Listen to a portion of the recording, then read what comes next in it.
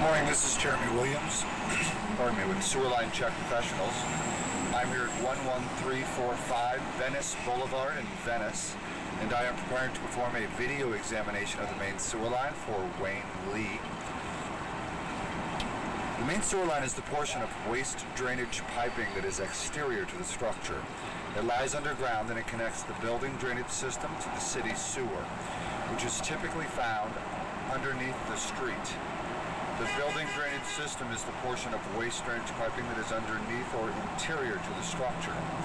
This examination does not focus on the building drainage system. The uh, main sewer line cleanout, the access point of the system is here in the front, kind of planter area near the main water line. The driveway is over there. The street's right out in front of us.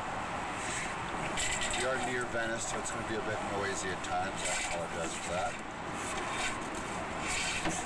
This first section of the pipe looks to have been replaced with newer plastic. Looks like ABS plastic. Plastic is one of the very best materials available for main sewer lines. For several reasons. Smooth inner walls allows for maximum drainability. It's also a material that does not rust or corrode over time. It's not naturally decaying. Its flexibility makes one of the better faring pipes under seismic activity and last, but certainly not least, when plastic is installed properly, roots should be unable to penetrate the joints of the piping. Right here we are uh, exiting the newer plastic and entering into what appears to be original vitrified clay. There are a couple of uh, trees in the front yard, or one in particular that has a rather aggressive root system. Vitrified clay is also a good material because like plastic it does not rust or corrode. Where it differs quite a bit from plastic is that it is one of the more susceptible types to seismic damage.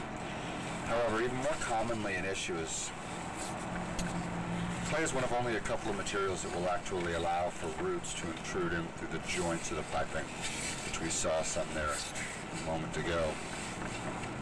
And here we are looking into the city sewer, so it's not a very long sewer line.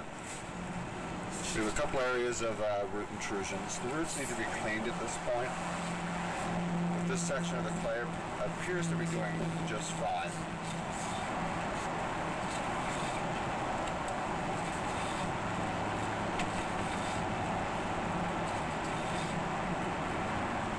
Go ahead and locate where the city sewer connection is actually taking place. It almost feels like it's on the sidewalk, not under the street.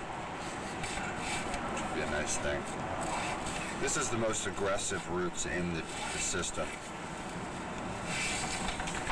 These roots can be cleared using the conventional snaking method of sewer line cleaning. Again, given the roots we're seeing, I'm going to recommend that it be done now.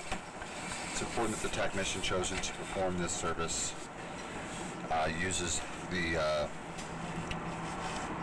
full-size main sewer line cleaning blade to properly scrape the roots from the roots from the inner wall of the pipe. After the initial cleaning, the line should be maintained on a regular basis of about once every year, 8 to 12 months. This regular maintenance significantly reduces the risk of roots causing a block, blockage in the line, but also, and very importantly, damage to the pipe.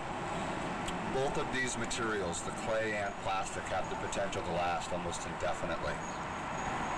The clay being quite reliant on proper and regular maintenance for that longevity, where plastic is much more forgiving.